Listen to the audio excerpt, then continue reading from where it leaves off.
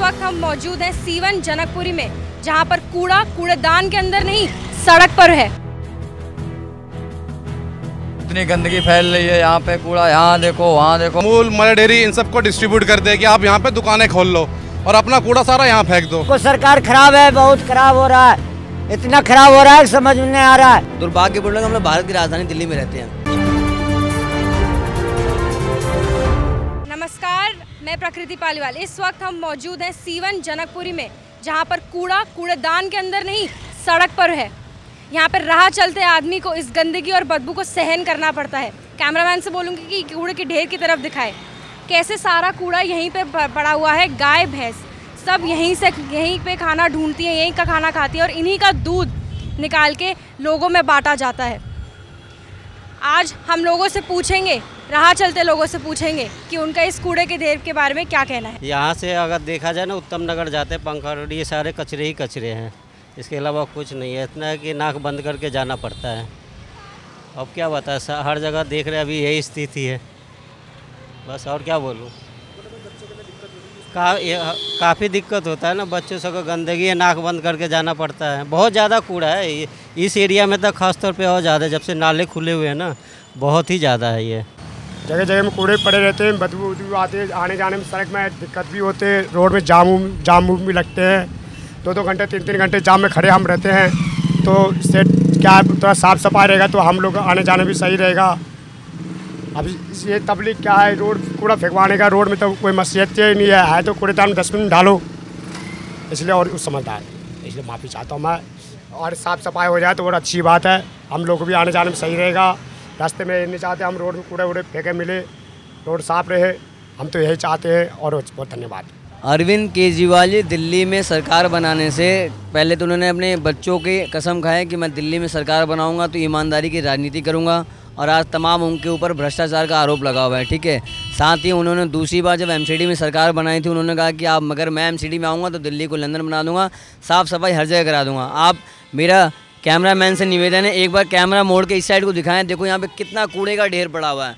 और ये कोई पार्क और ये कूड़े का कोई ढेर नहीं है। ये सिर्फ़ चलता फिरता पीडब्ल्यूडी का सड़क है, नाले के साथ में। नाला पूरा खुला हुआ है। हज़ारों लोग इसकी बदबू से बीमार पड़ते हैं। आने जाने वाले लोगों को इतनी तकलीफ़ होती है। और पीछे भी आप कैमरा मोड़ के देखो, आने जाने वाले लोगों को कितनी तकलीफ़ हो रही है। यहाँ पे आप देखो, आने जाने लोगों को लवारिस गाय सड़कों पे खड़ी है। कोई एमसीडी वाला आता नहीं, कोई बोलने वाली। ये साथ में कूड़े का घर बना हुआ है। कूड़े का घर बना होने के बाद तो कूड़े का घर बंद है। इसके अंदर कोई साफ़ सफ़ाई नहीं है, कोई एमसीडी कर्मचारी नहीं है। दुर्भाग्यपूर्ण है, दिल्ली का भारत की राजधानी, दिल्ली के मुख्यमंत्री जेल में है और उनके जो मंत्री हैं, वो जेल में जो केजरीवाल है, उसको बचाने का पूरा मतलब वकील, कोर्ट, कचहरी चक्कर लगा रहे हैं, पर जनता पे एक परसेंट भी कोई ध्यान नहीं देता।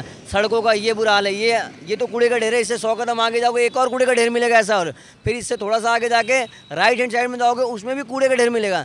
इस केजरीवाल ने दिल्ली को कूड़े का ढेर बना दिया। ये कहता था कि जो जमुना पार और वजीराबाद के पास में जितने कूड़े का ढेर है, मैं कूड़े का ढेर खत्म करूँ। अरे, कूड़े का ढेर तो ऐसे खत्म हो जाएँगे जब कूड़े का ढेर उठेगा ही नहीं। वहाँ कोई साफ़ सफ़ाई नहीं है। और ऐसे लोगों को चुल्लू भर पानी में डूब मरना चाहिए, जो झूठ बोलने की राजनीति करते हैं। और डालते हैं इवन एमसीडी की जो गाड़ियाँ हैं ना एमसीडी की गाड़ियाँ, आप देखो, ये ढेर ये ढेर से पता चलता है, ये कोई रिक्शे वाले नहीं उतार के जाते। एमसीडी की जो कूड़े गाड़ियाँ हैं, वो खुद यहाँ पे डाल के जाते हैं, सड़कों पे। वो खुद कूड़े का ढेर यहाँ पे डाल के जाते हैं। और दुर्भाग्यपूर्ण हम लोग भारत की राजधानी में रहते हैं, जहाँ से, यहाँ से लगभग 28 से 30 किलोमीटर की दूरी पे सीएम का खुद का आवास है। प्रधानमंत्री का आवास है। भारत की राजनीति यही दिल्ली से होती है। और ये कूड़े का ढेर सड़कों पे लगा के ये लोग ज़ाहिर करते हैं कि दिल्ली को कोई पूछने वाला नहीं है। सिर्फ़ बिजली का और पानी का फ्री लालच दे करके इनको जनता को मरने के हालात में छोड़ दिया। कल भी एक बच्चा एम मतलब एक बच्चे और एक माँ की हत्या इसलिए हो गई, वो केजरीवाल सरकार के मंत्रियों के लापरवाही कारण। बच्चे का खुला हुआ नाला था, उसमें माँ बच्चे मतलब दोनों की मौत हो गई। और तीन बच्चे उससे पहले वो बेसमेंट में राजेंद्र प्लेस में हो गया था। उससे पहले एक अपना किराड़ी में हो गया था। दुर्भाग्यपूर्ण हम लोग भारत की राजधानी दिल्ली में रहते हैं। मेरा नाम राजकुमार, मैं सीतापुरी निवासी। ये जो गंदगी का ढेर है, इनका सबसे बड़ा कारण तो खुद हम हैं। हमसे बड़ा तो कोई है नहीं, हम जितना भी आते हैं, हम डाल देते हैं एमसीडी वाले बेचारे कूड़ा उठाना, कसूर, कितना हम उनको देंगे। लेकिन उससे ज़्यादा कुछ एमसीडी का, कुछ काउंसलर का, कुछ एमएलए का, और सबसे ज़्यादा यहाँ पे जो ये आवारा पशु का जो सिस्टम है यहाँ पे बैठ जाएँगी गाय, इधर बैठ जाएँगी गाय, इन गाय वालों पे कोई कार्रवाई नहीं होती है। सबसे बड़ा इशू है यहाँ पे इतने एक्सीडेंट हो जाते हैं गायों की वजह से कि जिसका कोई नहीं, यहाँ का जो एमटीआई है, उसका नाम संजय गुप्ता है, जो इनसे मंथली फिफ्टी थाउज़ेंड पर गाय वाले से लेता है। मैं ओपनली बोल रहा हूँ, बेशक आप उनको दिखा भी दें, फिफ्टी थाउज़ेंड। और मैं सामने भी, बीट वाले भी सारे सब का मिला जुला है ना, वरना ये कुछ नहीं हो सकता। यहाँ पे दो मिनट का काम है ये, अगर करना चाहें तो। लेकिन जान के हो रहा है ये सब कुछ। तो मेरी रिक्वेस्ट है, दिल्ली सरकार से भी एमसीडी से भी, और जो यहाँ के ऑफिसर हैं, दीपक आहूजा यहाँ से काउंसलर हैं, जनकपुरी से। और राजपूत जी हैं, वो हैं। इनका कोई दाते नहीं, आते हैं, फ़ोटो खिंचाते हैं, बस एक एक चीज़ दिखा देंगे, गाड़ी भरवा के, फ़ोटो खिंचवा के, फिर नौ दो ग्यारह। तो मेरा ये रिक्वेस्ट है कि कोशिश करें कि जनता को परेशान ना करें। वो देखो वहाँ पे गायें बैठी हैं। आप बिल्कुल देख लो। अभी उधर अगले चौराहे पे मिलेंगे। यहाँ पे कम से कम सत्तर अस्सी अवेड एरिया हैं जो यहाँ पे जीना मुश्किल करते हैं। पीछे भी एक बेचारा अभी आदमी अपने स्कूल से बच्चे को लेके आ रहा था। सेंट्रल स्कूल का बाप बेटे दोनों इतने बुरी तरह गिरे कि चंदन देवी में एडमिट करवाना पड़ा उन्हें। तो सबसे बड़ा इशू ये है मैम कोशिश करें आप उनको भी दिखाएँ इस चीज़ के लिए। नहीं पियेंगे इस दूध का, वेद को दूध निकाला, कूड़ा करकट खाती हैं, गाय फिर यही दूध हमारे अंदर जाता है, हमारे बच्चों में जाता है यही जहर है टोटल जहर है। दूध और पानी तो चल सकता है, लेकिन ये जहर तो नहीं चल सकता ना? सबसे बड़ी दिक्कत तो ये आजकल फिर बच्चे खड़े खड़े स्कूलों में परेडों में गिर जाते हैं, उनका रीज़न ही यही है कि बच्चों के अंदर पौष्टिक है ही नहीं। सीधा जहर पी रहे बच्चे हमारे, हम खुद पी रहे हैं, हमारे बच्चे भी जहर पी रहे हैं। हम तो झेल लेंगे, बच्चे तो आगे आने वाली जनरेशन तो इस चीज़ को झेल भी नहीं पाएगी। तो कोशिश है, आप उनको काउंसलरों को दिखाएँ एमएलए को दिखाएँ जाके इस चीज़ के लिए। अभी नई नई, हमारी नई सांसद बनी है कमलजीत सहरावत। कृपया करके ये मीडिया न्यूज़ उनको भी आप दिखाएँ तो ज़रा कुछ, शायद कुछ हो सके। से 1980 से रह रहा हूँ। जितना गंद, अब मैं देख रहा हूँ इतना दिल्ली में कभी गंद नहीं था। मैं 1980 से हूँ यहाँ पर प्रॉपर मैं संदीप गुडियाल, शिक्षा वन एन से। पिछले कई दिनों से हम देख रहे हैं, यहाँ पर कूड़े का खत्ता वहाँ पर और लाइन पूरी अब आगे तक बढ़ है ये सारा कूड़ा। अब आपको बताते हैं इस बारे में, ये खत्ता और जनकपुरी में भी है, पर वो सब दे दिए गए हैं मर डेयरी वालों को, अमूल वालों को, कि आप अपने यहाँ डेयरी खोल लो। और यहाँ का खत्ता हो वहाँ का खत्ता कूड़ा भी इसी खत्ते में आता है। अब इसकी कैपेसिटी जितनी होगी, उस हिसाब से कूड़ा रहेगा। दिल्ली सरकार ने वो तो दे दिए, अमूल, मर डेयरी इन सबको डिस्ट्रीब्यूट कर दे, कि आप यहाँ पे दुकानें खोल लो और अपना कूड़ा सारा यहाँ फेंक दो। तो इसी वजह से ये कूड़े की जो उसकी लिमिट थी, उससे एक्सेस कूड़ा रहेगा। तो रोड पे भी आएगा और बीमारियाँ भी फैलेगी। तो यही मेन कारण है यहाँ पे तो सारा कूड़ा फैला हुआ है। और सारी गाय यहाँ पे ऐसे ही कूड़ा इनका खाती रहती है। टोटल गाय। होगा अमूल का जो यहाँ पे फेंका हुआ है। ये सब यहाँ पे वेस्टेज जनकपुरी की भी आती है। इसी वजह से यहाँ पे कई बार कूड़े की वजह से स्लिपरी हो जाता है। तो कई बाइक वाले गिरते हैं कईयों का एक्सीडेंट होता है। इस कूड़े के चक, इस कूड़े के चक्कर में कई बार जैसे गायें वहाँ बैठी है ट्रैफ़िक जाम होता है। शाम को आप यहाँ से निकलने में एक डेढ़ घंटा लगा दोगे।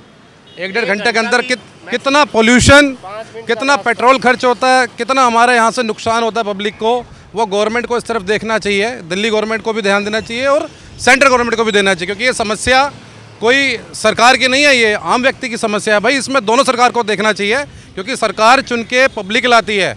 उसमें हमें ये नहीं देखना चाहिए कि ये सेंटर की है या गौर ये अपना स्टेट की है। ये दोनों का दायित्व है कि इसे सफ़ाई करें। हमने वोट दिया है अपनी सफ़ाई के लिए हमारे अपनी सुविधाओं के लिए। एक और चीज़ मैं कैमरामैन को कहूँगी यहाँ दिखाने के लिए यहाँ पे लोग अपने घर का कूड़ा तो फेंकते ही फेंकते हैं साथ ही साथ अपने दुकानों तक का कूड़ा यहाँ फेंकते हैं। एक्सपायर्ड चीज़ें हो गई कुछ भी चीज़ें हो गई कपड़े सब कुछ सारा गंदगी यहाँ पे फेंक रखा है। आप ये से देख, देख, देख सकते हैं यहाँ पे दूध की थैलियाँ यहाँ पे पड़ी हुई हैं। यही गाय भैंस जो यहीं से दूध पीती है उन्हीं का दूध निकाल कर घूम फिर के वो यहीं आ रही है। यहाँ पे चारों दिशाओं में घर है। इस तरफ़ मेरे राइट साइड पे देखते हैं यहाँ पे घर है। सड़क पे पूरा कूड़ा है और इस तरफ़ भी आप देखें तो लोगों का घर है। यहाँ पे लोग कैसे जी रहे होंगे? जब देखो कितनी गंदगी फैल रही है यहाँ पे कूड़ा यहाँ देखो वहाँ देखो और इसके आगे देखो कूड़ा ही कूड़ा है मैडम। ये एमसीडी वाले कुछ करते नहीं है बस पूरे रोड पे आ जाता वहाँ तक पहुँच जाता मैडम ये तो। ये अभी यहाँ पड़ा है ये अभी कामड़ की वजह से हटा दिया फिर यही हाल हो जाएगा जैसा है। सरकार बढ़िया था आपको सरकार खराब है बहुत खराब हो रहा है। इतना खराब हो रहा है समझ में नहीं आ रहा है। पंद्रह बीस रोज में कूड़ा उठते हैं यहाँ पर यहाँ पर से? हाँ एक महीना से ज़्यादा हो गया। अब बताओ, पहले की सरकार बढ़िया था कि अथी रखता था, डब्बा रखता था तो उसमें डाल दिया देता था। तो जैसा कि आप देख सकते हैं, यहाँ पे लोगों को कितनी दिक्कतें हैं। ये जो प्रॉब्लम है, ये कुछ दिनों की नहीं, ये बहुत सालों की है। और ये सिर्फ़ इस इलाके की नहीं है, ये पूरी दिल्ली की प्रॉब्लम है। तो मेरा प्रशासन से एक ही सवाल है कि ये कब सड़कें साफ़ होंगी, कब एमसीडी काम करेगा कि कब कूड़े जाएँगे और कब लोगों को सही फील होगा सेफ़ फील होगा। यहाँ पे सब गंदगी, बदबू सब, सबको सहन करके यहाँ पूरे रोज़, रोज़मर्रा की ज़िंदगी में सब यहीं से जाते हैं और सबकी यही दिक्कतें हैं कि कब ये कूड़ा ठीक होगा। कैमरामैन दुष्यंत के साथ मैं Prakriti Paliwal, India time 24 news. खबरों से खबरदार रहने के लिए चैनल को सब्सक्राइब करें और प्रेस करें बेल आइकन।